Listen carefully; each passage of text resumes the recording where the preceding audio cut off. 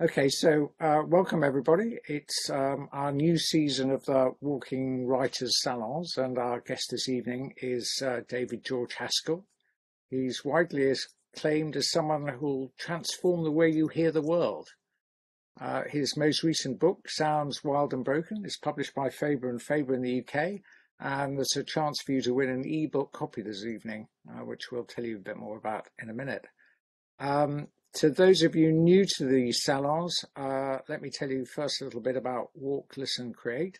Uh, we're a social enterprise. We support artists, composers, performers, sound designers, and writers who create work on foot or about walking. So if that's one of you and you've just registered to come to this event, then do fill in more about your biography and post and submit um, some of your work to the website. So, uh, introducing David. He's a writer and a biologist. His latest book, Sounds Wild and Broken, explores the story of sound on Earth and is an editor's choice of the New York Times. His previous books, The Forest Unseen and The Songs of Trees, are acclaimed for their integration of science, poetry, and rich attention to the living world. Among their honours include the National Academy's Best Book Award, the John Burroughs Medal, a finalist for the Pulitzer Prize, the Iris Book Award, Reed Environmental Writing Award, the National Outdoor Book Award for Natural History Literature, and runner-up for the PEN E.O. Wilson Literary Science Writing Award. David himself received his BA from the University of Oxford and PhD from Cornell, and he's a Fellow of the Linnean Society of London, a Guggenheim Fellow, and a William R. Keenan, or oh, he is William R. Keenan Jr. Professor at the University of the South. Is it in Sewanee? Is that how you pronounce it? Yes, Sewanee. Sewanee, Tennessee. So, um, David, I've been involved with sound walks, soundscapes, and listening to the environment. Um, so I was immediately drawn to this book. And to me, it's astonishing how much you've covered and how brilliant you've made the uh, the sort of often complex uh, concepts, uh, hypotheses, and science are easy to understand. Well, um, thank you. And I'm also, uh, I think I mentioned it before in a conversation we had, I'm absolutely flabbergasted by the breadth and depth of the bibliography. And those of you who've not yet been able to put your hands on a book, uh, it's over 100 pages long. You take us through the origin of sounds and soundscapes, um, and we may talk about that. Um, but with my interest in sound walks, I'm also keen to have your take on how technology over the last 25 years has changed the way we interpret nature, as at the same time how it's modified the very nature of which we're part. Um, but perhaps we should start our discussion on how sound reveals a lot about the sound maker. Mm-hmm. If that's okay by you. Yeah, yeah that's wonderful because that's, that's sound, of course, is the great revealer we listen to to learn things and have our curiosity stimulated and and some of those things are obvious and others may be a little more subtle so, so how did it all begin for humans i mean um, I, I, read in your book that um, you you can sort of um, you know, the, the, research reveals that uh, we're, we're not very good at communicating in the forest, so we must have come from the grassland or the savannas. Is that is that our origin? Yes. I mean, but even before that, we can sort of think about human sound making in the context of, of what other mammals are doing. And, and, we're rather unusual mammals in that we we learn the vast majority of the, the structure of the sounds that we make. So we're more bird-like than than mammal-like, and that's one of the things I think that allowed humans to uh, take these great cultural leaps is that we've taken an innovation that most most mammals, most primates have not taken, and that is the ability to learn day by day, even sometimes minute by minute, the, the form of the sound that we're making, and use that to transmit information, cultural information, social information, technological information, and that that linguistic ability dates back at least half a million years. And we know this from the, the form of the, the fossilized form of the throat, but also from, from the presence of, of genes that are necessary for us to make our, the language that we use now, those genes were also found in Neanderthals and, and Denisovans. So our closest relatives and closest relatives to modern humans had the ability to speak genetically and morph morphologically. Of course, presently we have no clue how or when or why uh, uh, they spoke, but it, seems very likely that they did. Alongside that, we're incredibly musical species. Uh, we, we've taken the rhythmicity that is present, say, chimpanzees like to beat on rocks and rocks on trees in various ritualized ways.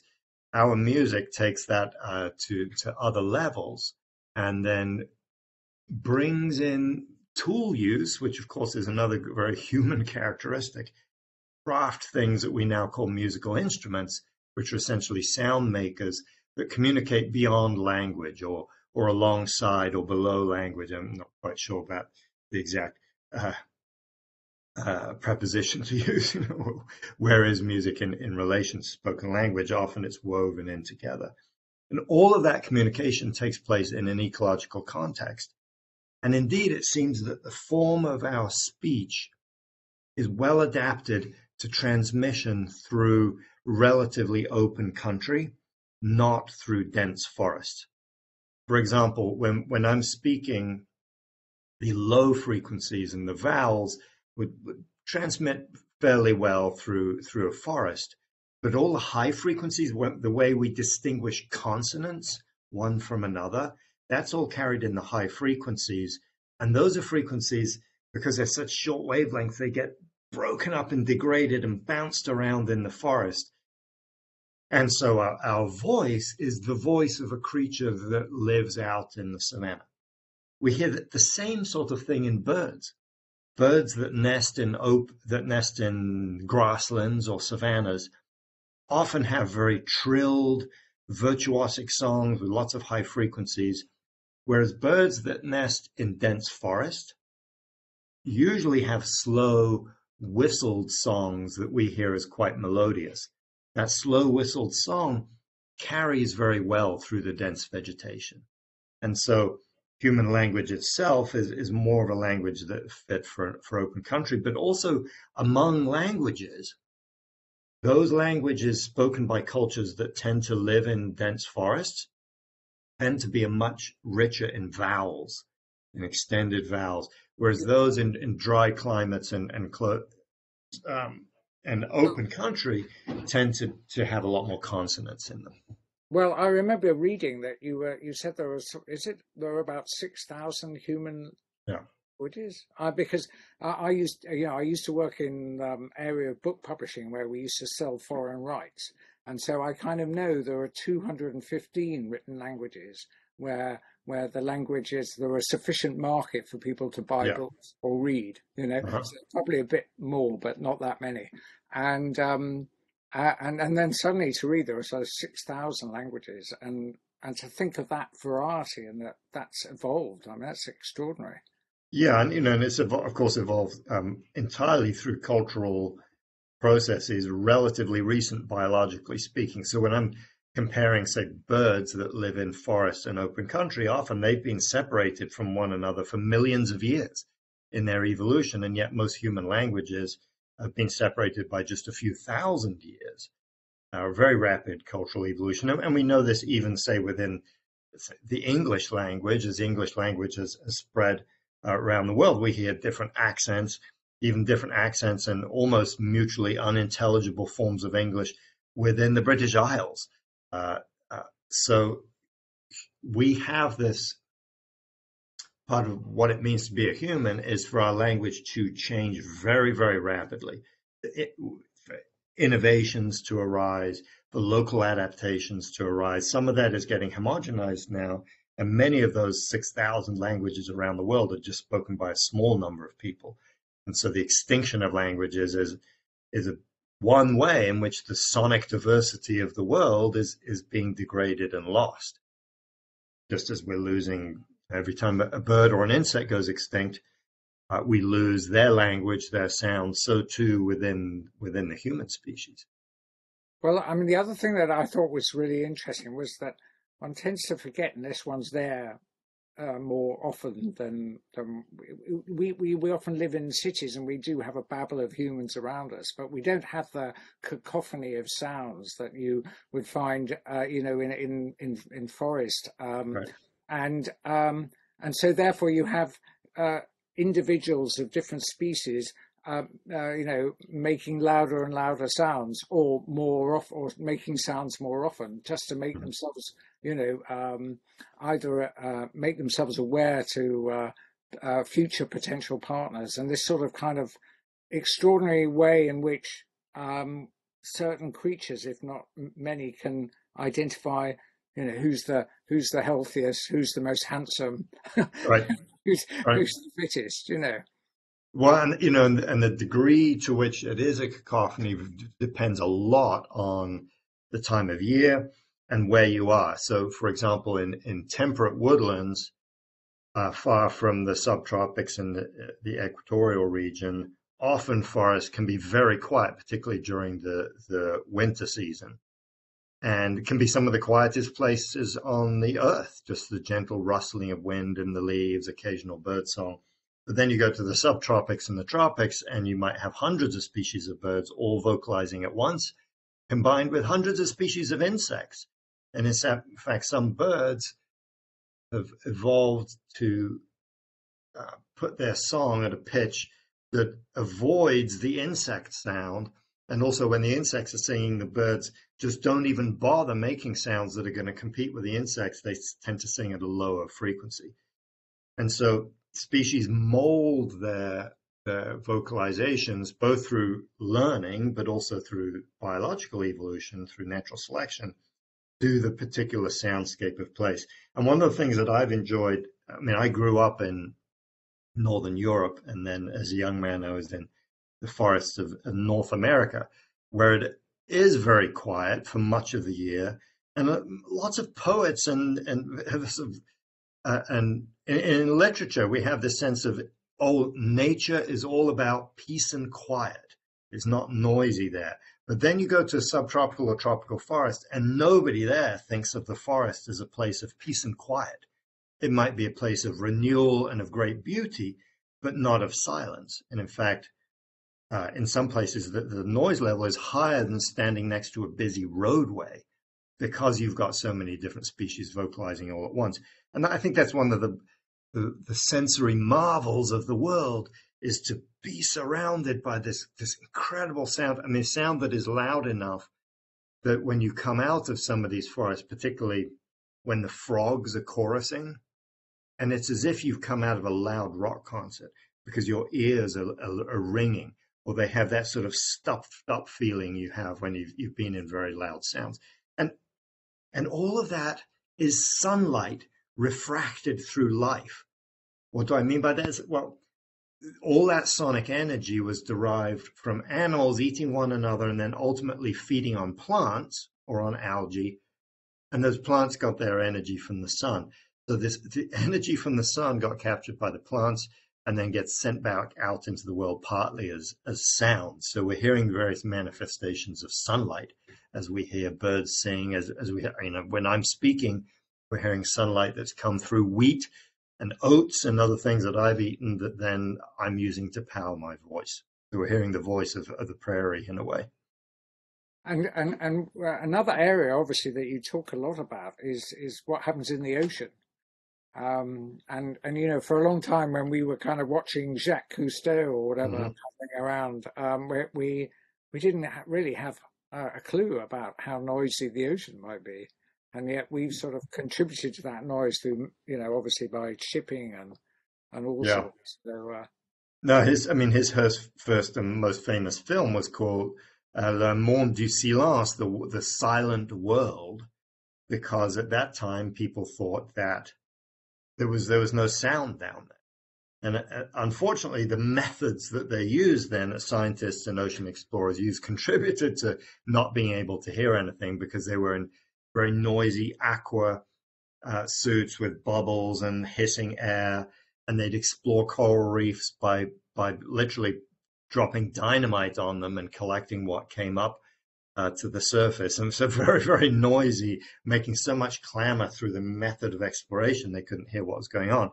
But in the, the 1950s, in particular, uh, a scientist called Marie Fish, and then others, put hydrophones down into the oceans and discovered that the oceans are full of sound. The most famous of those sounds are the whales, particularly humpback whales that, that Roger Payne and others have made so famous, but all, sorts of marine mammals.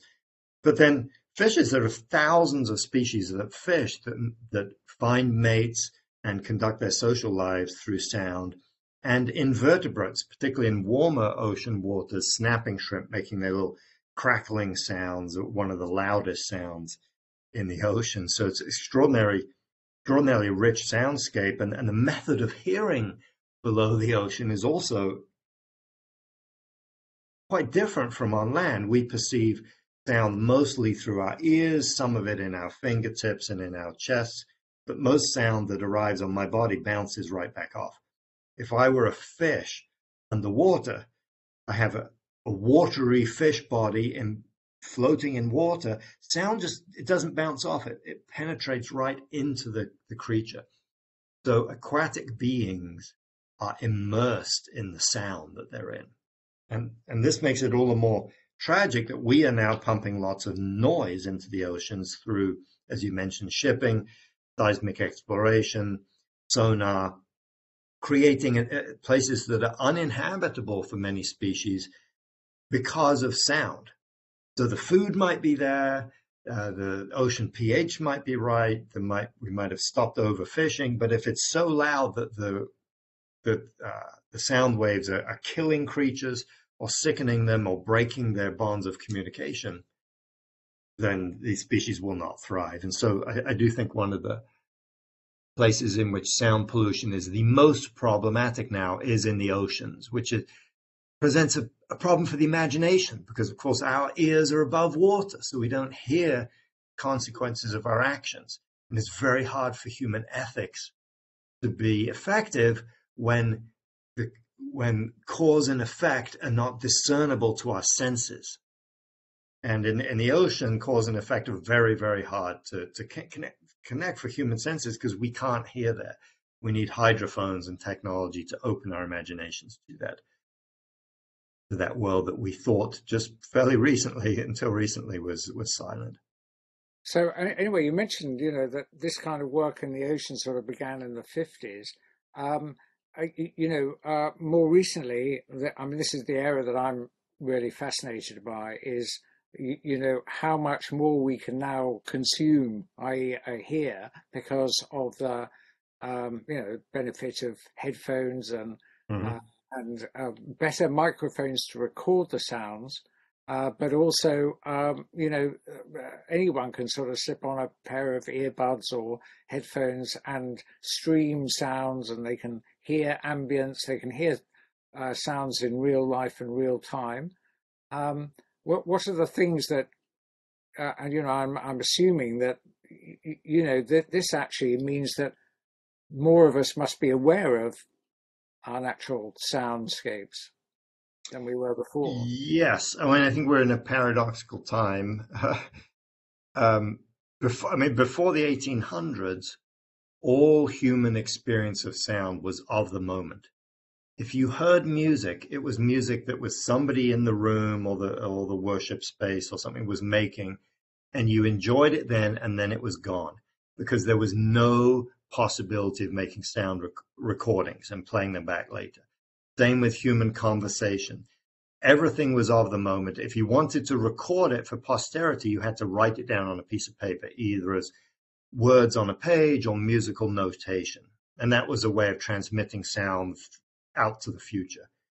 And so the experience of sound was very, very precious then because it was ephemeral and therefore you had to pay attention. Uh, and also sound for people who were living in agricultural societies um, or even hunter gatherer societies. If you weren't listening to the world around you, to the community of life, you weren't a good farmer. You weren't putting food on the table. And so I, I do think, of course, it's speculation because I, none of us were around in the early 1800s or, or before.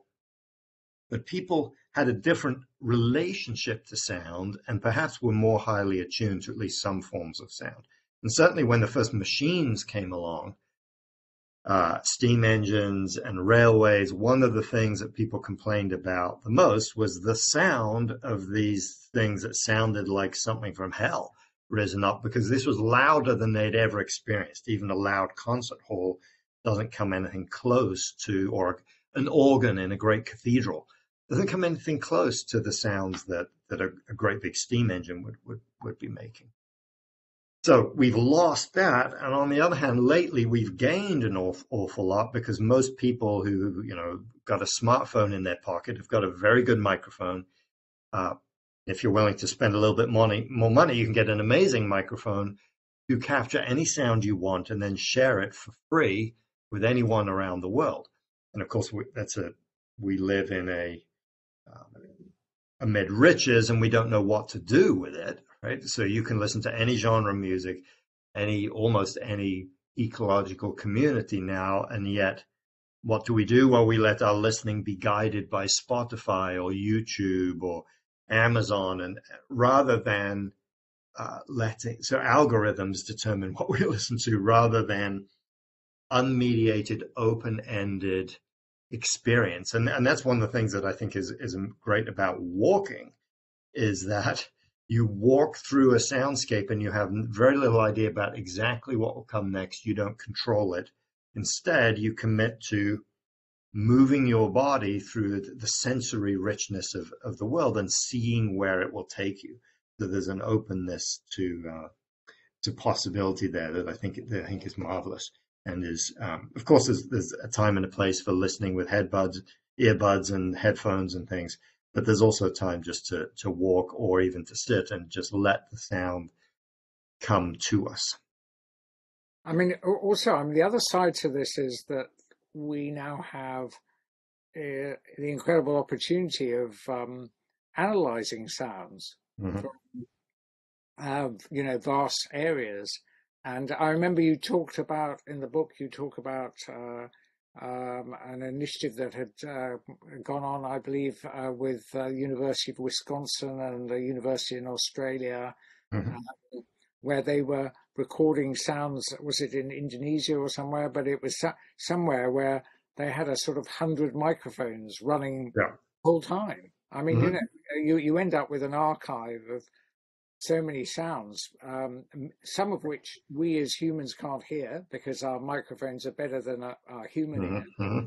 How, how is all that interpreted? And, and right, well, that's the big question. So we technologically, we can record for 24 hours, seven day, days a week, and in fact, scientists have done this. The experiment you were referring to was in in Borneo, listening to different kinds of forests, forests that have been um, managed by the indigenous community, others that are managed by the uh, central government, and then logged. So the central government allows logging or mining on different places. And one way of assessing the effects of these different kinds of forest manipulation and forest use, put microphones in that then record the entirety of the soundscape, every creature, insect, primate, bird, uh, mammal, every vocalization is, is captured and then stored digitally. But then the problem is there aren't enough human ears and enough hours in the day to listen to all that data. So you can feed it through a computer and the computer can pull out particular things. Say if you're interested in, in one species of primate, you can teach the, the computer to, or the computer now will teach itself to pull out the calls of a particular gibbon, for example, in, in the forest or a particular toucan focus on one species, or the, the, through statistical analysis, you can take the entirety of that soundscape, all its different frequencies and changes in amplitude, and the computer breaks it down into lots and lots of little pieces like a mosaic. And then it looks for patterns in that mosaic of, of little tiles of frequency by time squares and then can report back, well, the forest that is managed by the indigenous community and doesn't have a lot of logging has a much bigger peak of sound frequency in the dawn for the dawn chorus. It has a much fuller spectrum through most of the day and the night. And you can therefore infer that the biodiversity in that forest, the community of life, is richer than some other ecosystems where the community is, is there's still lots of species there, but it's been thinned out or changed in some way. And so, so these technologies are a complement to to human listening. I don't think they should ever replace human listening because the other people who can who have long-term data, of course, are the people who have lived in the communities in the forest, sometimes for thousands of years, who either remember themselves or have heard from their parents and grandparents, and then stories from people who are no longer with us about what did the forest sound like? What was the forest like? How are things changing? So that's another form of, of technology, if you like, another form of listening that I think has been underemphasized in policy decisions.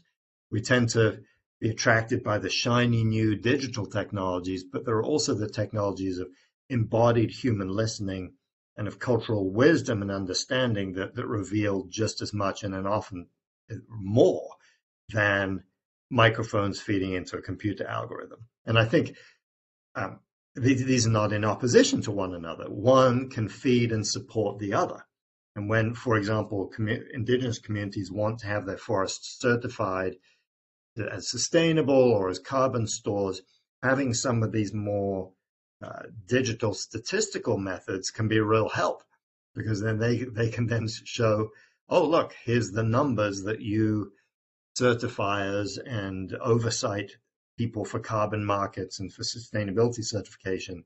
You, you want numbers? Here are some numbers, uh, as well as some, some knowledge from our culture.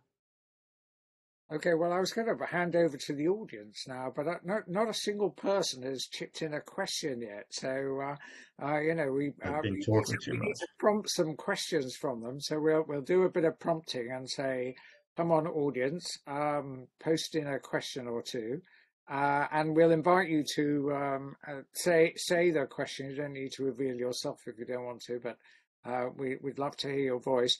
So that's one thing. Um, but maybe uh, the next thing I should ask you about is, you know, uh, how have, how, eh, you know, what, what sort of research has been done on how uh, we've mo- uh, modified the behavior of creatures and humans by the mechanical noises that we've been making? I Yeah. mean, well, one of the areas which um, I, I know is sort of quite uh, uh, interesting or, or key at the moment is the, is this is the sound of wind farms and and Mhm. how the turbines uh, modify the behavior of migrating birds, for example. Mhm, mhm.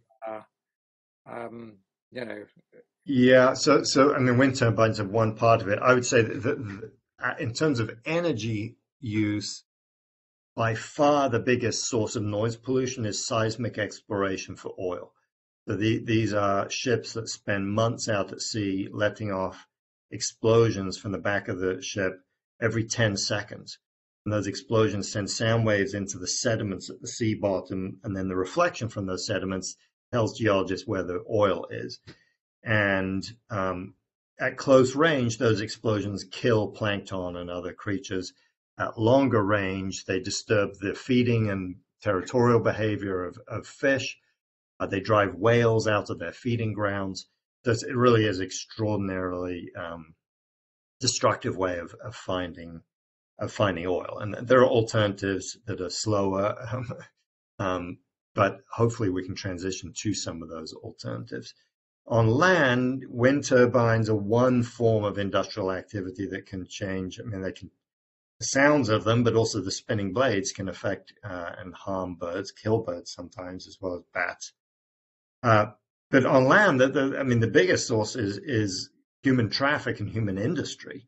And we got a good example of this when, you know, during the COVID lockdowns, when the vibration of cars and industry quieted down so much that the seismometers, so that the instruments in the Earth's crust that are there to detect earthquakes, recorded a background level of quiet in the Earth's crust that they had never before recorded over a large portion of the Earth. So we're making so much vibration and sound that's actually making the Earth's crust vibrate and shake, let alone the air above it.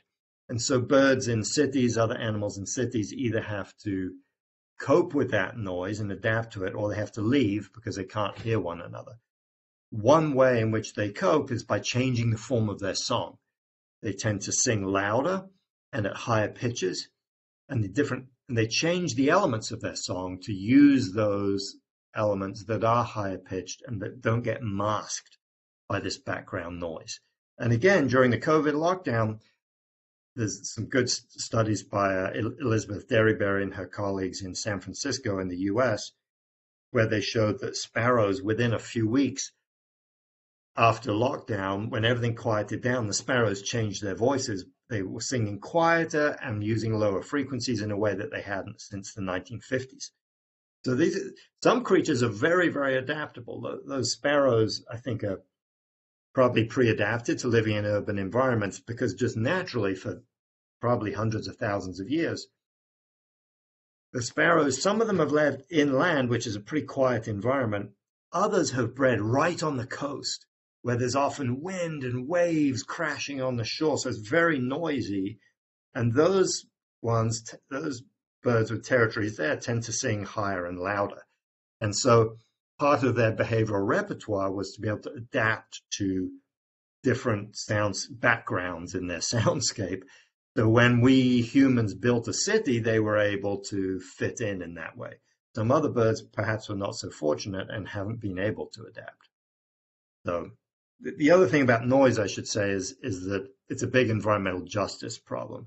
Is that in in cities, most of the noisy roads and industry deliver, at least in the U.S., were deliberately located in low-income minority neighborhoods, not where wealthy white people were living. Uh, and that once that road is built, it forever changes the nature of the neighborhood.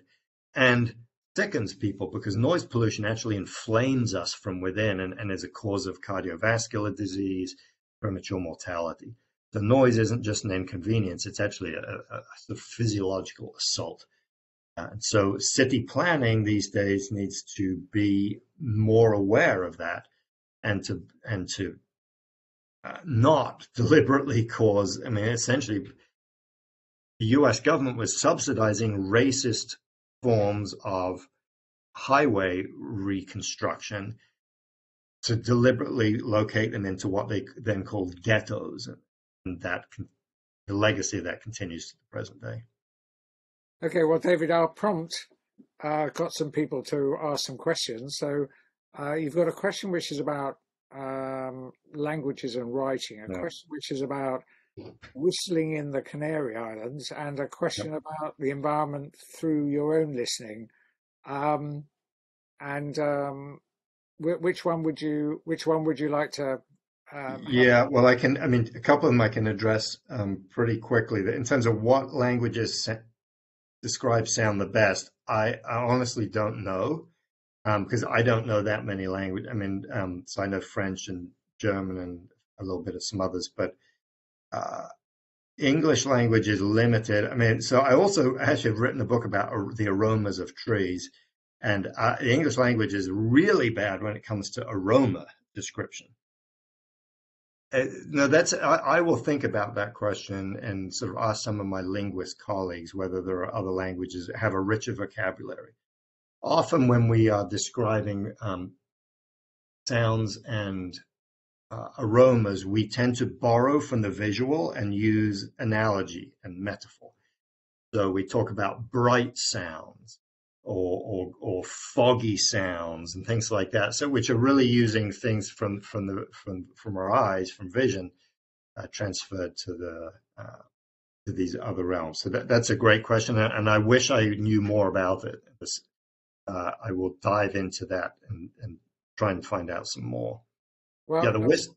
Yeah, no, I was wondering because Kim, I don't know whether Kim, Kim, you're based in Australia, so you know, are you thinking that uh, Aboriginal, Indigenous mm-hmm. people have a better way of describing? Um, I look, I, that's something that I'm sort of exploring, I, I, guess, in my work and working with Aboriginal communities. But uh, the languages have been so lost in a lot of cases that they've lost those descriptive words as well. So I, it's something I struggle with in my writing, but as you know, as a soundscape uh, artist, you know you often let the the hearing do the job for you but there are certainly times where you you want to be able to describe those sounds and uh, as wide as your vocabulary might be there it's it seems a challenge. We just seem to lack the words. Oh great you know I, I, that's one thing where i think art uh, so sounds sound art and music can help us and I think that's why why music is, so important around rituals and times of transition is that we realize that no words can can do it all. Uh, and so we create sonic experiences as a way that, you know, that they're not directly mimetic of anything around us usually, but they're creating modes of communication that transcend the limits of, of, of language. And, and that's true cross culture, I mean, universally people sing, so they add other layers of meaning to to words in song, and then also use instrumental music uh, because language can't can't cut it. So, and you know, the whistling languages um, that uh, Babak asks about, there are dozens of whistling languages around the world, and they tend to, these are languages where people are not just whistling to get attention, but are through a series of whistles communicating complex meanings and full sentences. And the whistle languages tend to be where people are either living in very dense forests, so the whistles can penetrate through the forest, or in mountain valleys where you're communicating from one side of a mountain to another, and uh, turbulence in the air and the limitations of the, of the human voice itself mean that the nuances of spoken, normal spoken language get completely erased and degraded as, as sound flows through the air. But a whistle, because it's it's louder and it's also simpler, these whistle languages uh, can can communicate over very long distance, sometimes more than a kilometer, and because the grammar within the whistled language is complex and mutually intelligible, then then uh, complex meanings can be arrayed. But it does, it's like bird song in that those whistled languages take on the timbre and the pacing of many bird songs of birds that that breed in dense forests that face the same problem with, with sound degradation. So. Um, how about um, Jeff? Do you want to ask your your question? Is Jeff there? He's hiding in the background somewhere. Um, oh, can you hear me? Yeah, we yes. can. Hi, Good. Right. Okay. Sorry. I'm only. Uh, uh I apologise. I'm only half in in this. I'm doing something else at the same time. Um, yeah. I, uh, no. I just wondered. Uh, very interested in in in the scientific background to what you're talking about and and that must um, really enrich your own listening. So I want, I just, I would like to hear something. You know, tell us what it's like with that information going into a, a, a, rich natural environment and, and listening to what it what the soundscape yeah. is. Well, thank you, Jeff, and, and you're an expert on, on, this, and I'd love to hear, hear your take on that. But um, you know, a couple of things. My when I'm out listening, my practice is is often quite meditative, at least at first. I mean, obviously, sometimes I'll record and and and get technological about things, but force myself to pour my attention into my ears and just wait for the sound and listen for the sound beyond the first one that I heard. Uh, then my mind gets distracted and I call it back to the, to the experience of listening. So again and again, just being within the sound space, maybe describing its textures, but p- trying to get beyond words and just be present for the physicality of sound, beyond story, beyond interpretation, just to be has been very important for me. And I, and I think it's, I mean, I absolutely am drawing from the practices of meditation that lots of religious traditions have and has been part of my practice for a long time now as a writer. My first book was about going to one square meter of forest. Uh, the, the, book is called The Forest Unseen. and I just return to this same patch of ground again and again through a year to open my senses to it. And then the essays that I wrote about that are informed by science and all, all sorts of other things. But the primary practice was showing up, paying attention, and leaving the technology behind. Then, you know, when I want to share things with people, or then I'll go and take photos or, or make recordings. But in terms of listening and uh, with my sort of mind turned more into curiosity mode, one of the things I listen for and with is deep time. So when I'm listening to crickets chirping, I'm thinking that you know essentially the apparatus that they're using has been around for over 200 million years, and so I'm and particularly I live most of the year in, in the southeast of the United States, where there's a very rich singing insect fauna, and to be in in the presence of those insects for me is is an experience of time travel. Of course, the insects 200 million years ago were different species, and we have more diversity now, and so it's, it's not literally being transported to exactly how it was. But in terms of the, the sound making forms and the uh, and the timbers of sound, it is that way. And then with the birds, I'm, I'm again, I'm thinking, what what does this bird song reveal about the habitat, about its story?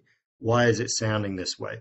and I mean, we have people on this call now from around the world, and it, the bird soundscapes in Australia and North America and in um, North Africa, Asia, Western Europe, the northern parts of Western Europe are radically different from one another, not just because the vegetation is, is somewhat different, but because of ancient biogeographic movements of birds.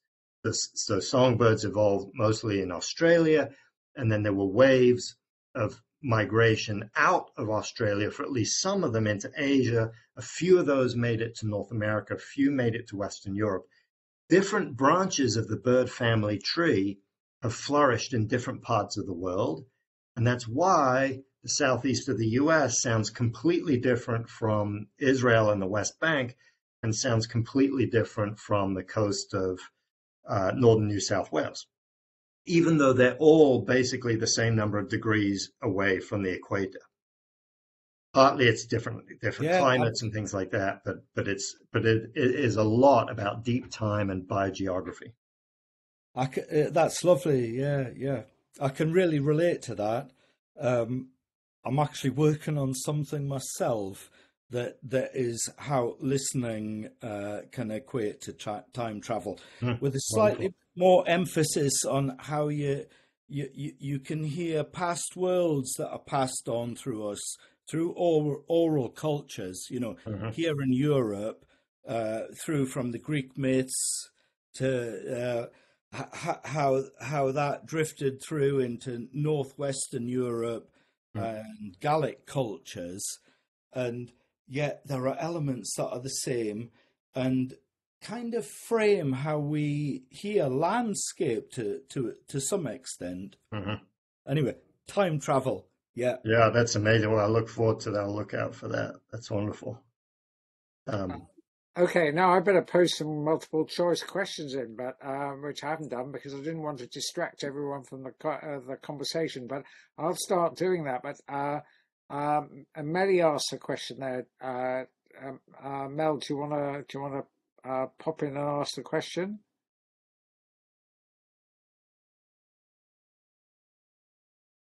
Maybe she's not there. So, uh, do you want to try that? How? Yeah, yeah. I mean, the interesting thing about you know how noisy are these environments for the species themselves here. Um, interestingly, there's evidence that creatures that live in very noisy environments, like a rainforest, often have evolved nerves and ears that are that are highly tuned to the specific frequency of their own species rather than having a more broadband receptivity to all sorts of frequencies. So and which is not what our ear our ears are, are sensitive to i mean not a huge range but a, a fairly wide range of, of sounds. And within that we it's not just that only one sound frequency, like a thousand hertz, is the only thing we listen to. We hear all sorts of others. But there are insects that are only hearing a very, very tiny slice of that spectrum, and, or at least they have nerves that are only tuned to that so that when their species is singing, boom, they hear it. All the noise around them, they're probably sensitive to it uh, because it you know helps detect when predators are coming to get you, but they, they have much tuned down receptivity to that. Whereas the same sorts of insects that live in less crowded environments, their nerves have a much wider tuning, so they're hearing all, all kinds of things. So through the evolution, not so much of the sound, but of hearing, uh, different species have, have managed to coexist. And there are other examples where the sound has changed, like instead of singing at the same frequency, species when they're together will frequency shift so they're not overlapping one another. Sometimes they just yell louder and see who can, you know, drown out the other one as as anyone who's been in a schoolroom can attest. Okay, that's great. And uh, Kim, you, Kim's um, tip in. Uh, go ahead. Okay. Um, so I've been working in the Macquarie Marshes, which is a Ramsar listed wetland in central northwest New South Wales, over the last four years. And the first field trip I did out there was in February 2020, where I'd been hoping to actually record sound through the night. And I know that landscape very well. I've, I've visited many, many times over decades. And there was an eerie silence that night that was completely unnerving. And it was on the back of three years of drought and a fire through the reed bed, the North Reed bed, uh, in the October before that. And I guess it really made me realize that a silent that silence that everybody seems to seek in their busy lives, and particularly those who live in cities, is actually a pretty serious indicator that there's something wrong with that environment. And I just sort of wonder, I guess, in your travels and, and the environments that you work in, how concerned are you about some of those really rich sonic environments becoming quieter? Yeah, I mean, you you said it beautifully. There is that when you know a place, uh, and suddenly that place becomes less vocal, less less diverse, we realize something is not right here. And and sometimes it might just be a short term thing. You know, maybe uh, when the rains come and things grow back after a fire, species will come back. But we know around the world that mostly the trajectory is not that way. There there are places of hope and of recovery and all sorts of great stuff, but overall, the trajectory is of loss of natural habitat and degradation of, of species abundance.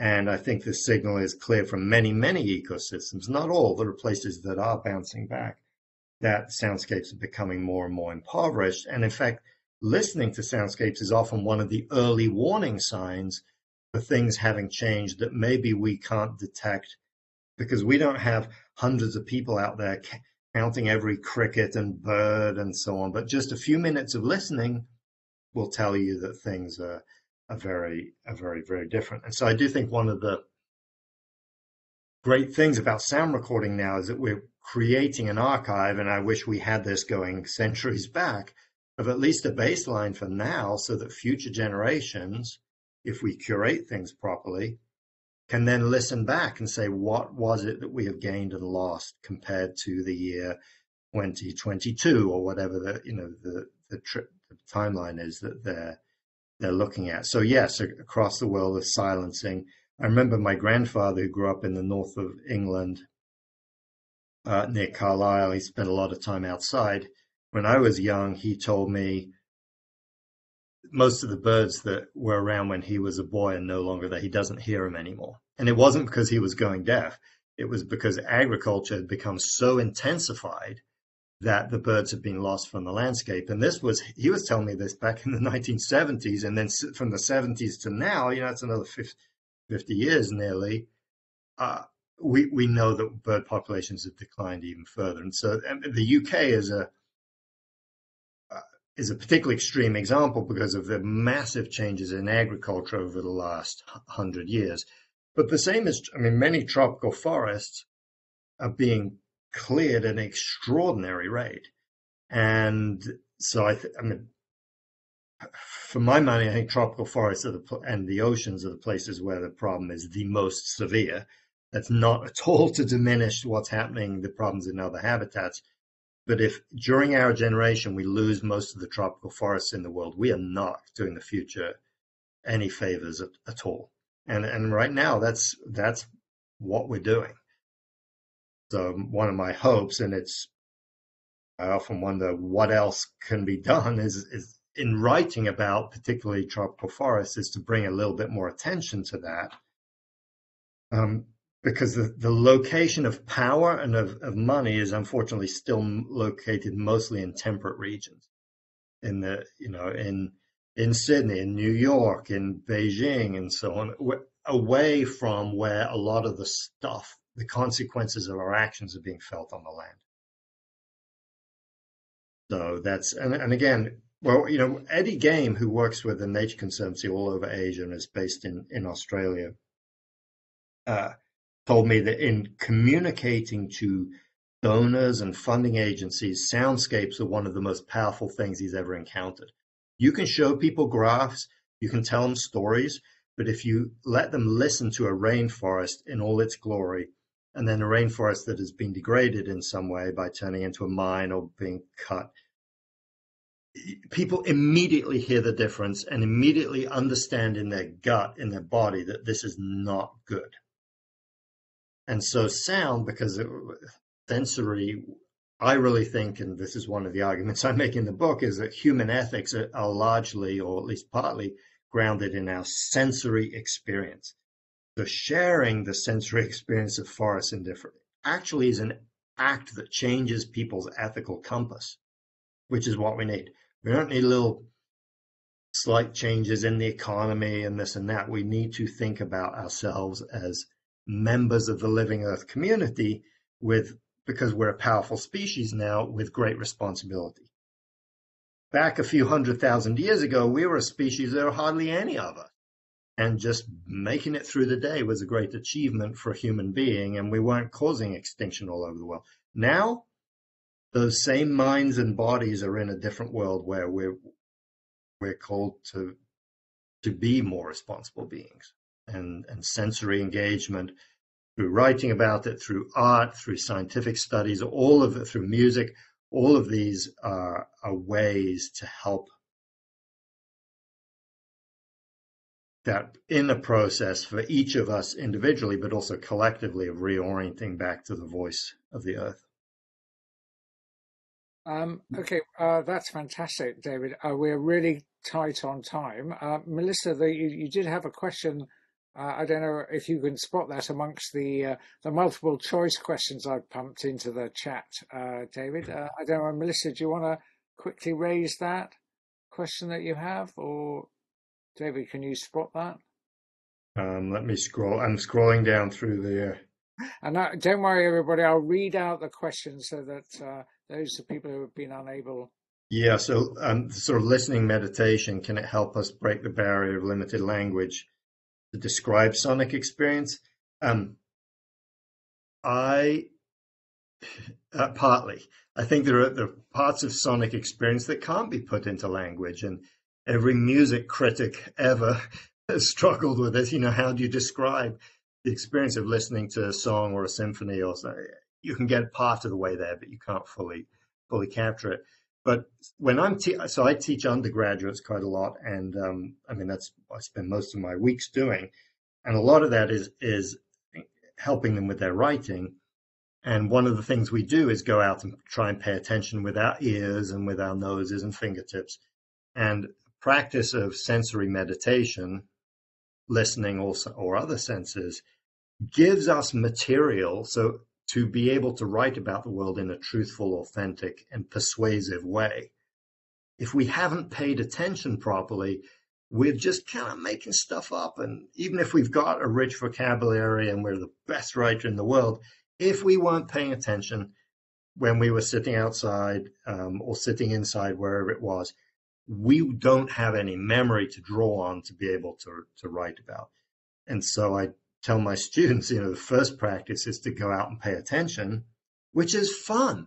I mean, it's so much more fun to do that than, you know, do your chemistry homework or your math calculations. I mean, those are fun in their own way.